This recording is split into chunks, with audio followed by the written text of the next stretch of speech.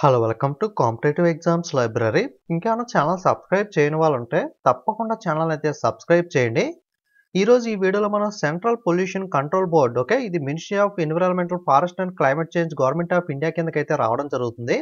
Already notification వచ్చి చాలా రోజులైంది. ఇంకా టెన్ డేస్ మాత్రమే అప్లై చేసుకోవడానికి సమయం అయితే ఉంది. ఎవరైనా ఇంకా నోటిఫికేషన్ గురించి తెలియని వాళ్ళు ఉంటే కనుక ఒకసారి వీడియో చూసి అప్లై చేసుకోవడానికి ట్రై చేయండి. ఓకే నోటిఫికేషన్ వచ్చేసరికి మనకి సో మార్చ్ ఆరో తారీఖున అయితే విడుదల అవ్వడం జరిగింది. సో ఆల్రెడీ అప్లై ప్రాసెస్లో ఉంది. మార్చ్ ముప్పై ఒకటి లోపు అప్లై అయితే చేసుకోవాల్సి అయితే ఉంటుంది. దీంట్లో మనకి రకరకాల పోస్టులు అయితే ఉన్నాయి. సైంటిస్ట్ బి ముప్పై సంవత్సరాల దాకా అప్లై చేయొచ్చు. అప్రైజ్ రిలాక్సేషన్ ఎస్సీ ఎస్టీకి ప్లస్ ఫైవ్ ఓబీసీకి ప్లస్ త్రీ పీడబ్ల్యూ అయితే ప్లస్ టెన్ అయితే కామన్గా ఉంటుంది. దీంట్లో SC ST OBC EWS UR అన్ని కేటగిరీకి కూడా పోస్టులు అయితే ఉన్నాయి. అసిస్టెంట్ లా ఆఫీసర్ వచ్చేసరికి ఎస్సీ ఒకటి ఓబీసీ ఒకటి ఈడబ్ల్యూఎస్ ఒకటి. అన్ రిజర్వ్ మూడు టోటల్గా ఆరు ఉన్నాయి. ముప్పై సంవత్సరాల దాకా అప్లై చేయొచ్చు. అసిస్టెంట్ అకౌంట్ ఆఫీసర్ కేవలం అన్ రిజర్వ్లో మాత్రమే ఉంది. కాబట్టి ఏ కేటగిరీ వాళ్ళైనా సరే థర్టీ ఇయర్స్ ఏజ్ ఉంటే కనుక అప్లై చేయొచ్చు. సీనియర్ సైంటిక్ సైంటిఫిక్ అసిస్టెంట్ వచ్చేసరికి అన్ని కేటగిరీ వాళ్ళకి పోస్టులు ఉన్నాయి. టోటల్గా పదహారు ఉన్నాయి. ముప్పై లోపు అప్లై చేయొచ్చు. థర్టీ ఇయర్స్ లోపు వాళ్ళు. టెక్నికల్ సూపర్వైజర్ అన్రిజర్వ్ ఒకటి ఉంది. థర్టీ ఇయర్స్ ఏజ్ ఉంటే కనుక ఏ కేటగిరీ వాళ్ళైనా అప్లై చేయొచ్చు. అసిస్టెంట్ వచ్చేసరికి మనకి ఎస్సీకి ఒకటి మనకి అన్రిజర్వ్ రెండు టోటల్గా మూడు ఉన్నాయి. సో మనకి ఓబీసీ ఇతర కేటగిరీ వాళ్ళు కూడా అన్రిజర్వ్లో ఉంది కాబట్టి అప్లై చేయొచ్చు. కాకపోతే థర్టీ ఇయర్స్ ఏజ్ అయితే ఉండాల్సి ఉంటుంది. ఎస్సీ వాళ్ళు మాత్రం థర్టీ ఫైవ్ దాకా అప్లై చేసుకోవచ్చు. అలాగే అకౌంట్ అసిస్టెంట్ వచ్చేసరికి మనకి రెండు పోస్టులు ఉన్నాయి. ఈడబ్ల్యూఎస్ ఒకటి అన్రిజర్వ్ ఒకటి టోటల్గా రెండు. థర్టీ ఇయర్స్ లోపు అప్లై చేయొచ్చు. అలాగే జూనియర్ టెక్నీషియన్ ఈడబ్ల్యూఎస్ ఒకటి అన్రిజర్వ్ రెండు టోటల్గా మూడు పోస్టులు ఉన్నాయి. పద్దెనిమిది నుండి ఇరవై ఏడు సంవత్సరాల లోపు అప్లై చేయొచ్చు. సీనియర్ ల్యాబొరేటరీ అసిస్టెంట్ వచ్చేసరికి టోటల్గా పదిహేను పోస్టులు ఉన్నాయి. మనకి ఎస్సీకి తప్ప మిగతా అన్ని కేటగిరీ వాళ్ళకి పోస్టులు ఉన్నాయి. Eighteen to twenty seven apply చేయొచ్చు. అప్పర్ డివిజన్ క్లర్క్ అన్ని కేటగిరీలోనూ పోస్టులు ఉన్నాయి. పదహారు పోస్టులు పద్దెనిమిది టు ఇరవై ఏడు అప్లై చేయొచ్చు. డేటా ఎంట్రీ ఆపరేటర్ వచ్చేసరికి మనకి అన్రిజర్వ్లో రెండు. ఓబీసీ ఒకటి టోటల్గా మూడు పోస్టులు ఉన్నాయి. పద్దెనిమిది నుండి ఇరవై ఏడు అప్లై అప్లై చేయొచ్చు. జూనియర్ ల్యాబొరేటరీ అసిస్టెంట్ అన్ని కేటగిరీలోనూ పోస్టులు ఉన్నాయి. పద్దెనిమిది నుండి ఇరవై ఏడు వాళ్ళు అప్లై చేయొచ్చు. లోవర్ డివిజన్ క్లర్క్ మనకి ఎస్సీకి ఒకటి. అలాగే ఎస్టీకి ఒకటి అన్రిజర్వ్ మూడు ఐదు పోస్టులు ఉన్నాయి పద్దెనిమిది నుండి ఇరవై ఏడు వాళ్ళు అప్లై చేయొచ్చు. ఫీల్డ్ అసిస్టెంట్ వచ్చేసరికి ఎనిమిది పోస్టులు ఉన్నాయి ఎస్సీకి ఒకటి ఎస్టీకి ఒకటి ఓబీసీ ఒకటి ఈడబ్ల్యూ సారీ ఈడబ్ల్యూఎస్ ఓబీసీకి లేవు. ఈడబ్ల్యూఎస్ ఒకటి అన్రిజర్వ్ ఐదు ఎనిమిది పోస్టులు ఉన్నాయి పద్దెనిమిది నుండి ఇరవై ఏడు వాళ్ళు అప్లై చేయొచ్చు. ఎంటీఎస్ వచ్చేసరికి సో మనకి ఓబీసీ తప్ప అన్ని కేటగిరీలోనూ పోస్టులు ఉన్నాయి సో టోటల్గా ఏడు పోస్టులు ఉన్నాయి పద్దెనిమిది నుండి ఇరవై ఏడు సంవత్సరాల లోపు అప్లై చేయొచ్చు. ఒకసారి మీరు కూడా వెరిఫై చేయండి. సో ఏ కేటగిరీలో ఎన్ని పోస్టులు ఉన్నాయి మీకు ఏ పోస్ట్ ఎలిజిబిలిటీ ఉంది? ఇవన్నీ కూడా ఒకసారి ఆ టోటల్ పోస్టులో పీడబ్ల్యూ వాళ్ళకి ఏ పోస్టులు కేటాయించారని చెప్పి కింద ఇచ్చారు. ఏమన్నా పీడబ్ల్యూ వాళ్ళు అంటే ఒకసారి అందులో ఏ పోస్టులకి మీరు ఎలిజిబుల్ అనేది ఒకసారి మీరు నోటిఫికేషన్ లింక్ ఇస్తారు ఒకసారి మీరు అయితే చెక్ చేయండి. ఇక ఎడ్యుకేషన్ క్వాలిఫికేషన్ విషయానికి వస్తే కనుక సైంటిస్ట్ పోస్ట్కి అయితే బ్యాచిలర్ డిగ్రీ ఇన్ ఇంజనీరింగ్ లేదా టెక్నాలజీ అనేది చేసి ఉండాల్సి ఉంటుంది సివిల్ కానీ కెమికల్ కానీ ఎన్విరాన్మెంటల్ ఇంజనీరింగ్లో కానీ సో మనకి లేదా కంప్యూటర్ సైన్స్ ఇన్ఫర్మేషన్ టెక్నాలజీకి సంబంధించి అయితే నాలుగు పోస్టులు సివిల్ కెమికల్ ఎన్విరాన్మెంటల్ ఇంజనీరింగ్ అయితే ముప్పై నాలుగు పోస్టులు అయితే సైంటిస్ట్ బిలో అయితే కేటాయించారు.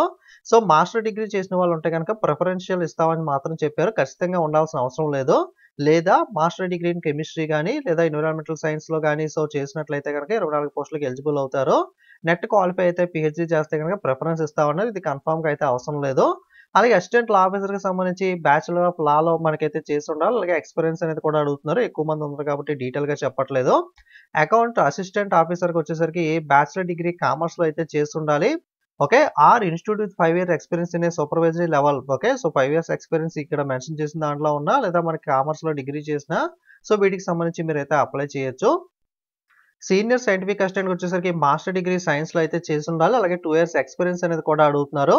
అలాగే technical సూపర్వైజర్కి degree instrumentation engineering with three years experience అడుగుతున్నారు.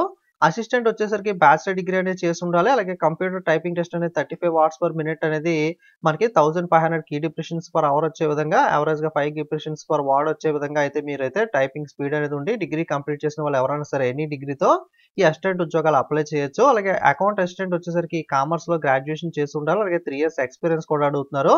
జూనియర్ టెక్నీషియన్కి డిప్లొమా అనేది ఎలక్ట్రికల్ ఎలక్ట్రికల్ ఎలక్ట్రానిక్స్లో డిప్లొమా అనేది చేసి ఉండాలి. అలాగే వన్ ఇయర్ ఎక్స్పీరియన్స్ అనేది కూడా అడుగుతున్నారు. సో దీనికి కూడా మనకి ఇంటర్మీడియట్తో పాటుగా సో మనకి త్రీ ఇయర్స్ ఎక్స్పీరియన్స్ అయితే సీనియర్ ల్యాబొరేటరీ అసిస్టెంట్కి అయితే అడుగుతున్నారు. అప్పర్ డివిజన్ క్లర్క్ వచ్చేసరికి degree of recognise university or equivalent. Degree కానీ ఈక్వలెంట్ కానీ చేసి ఉండాలి. అలాగే టైపింగ్ స్పీడ్ అనేది thirty five words per minute అయితే ఉండాల్సి అయితే ఉంటుంది. పది నిమిషాల పాటు మీకు టైప్ టెస్ట్ అయితే కండక్ట్ చేస్తారు.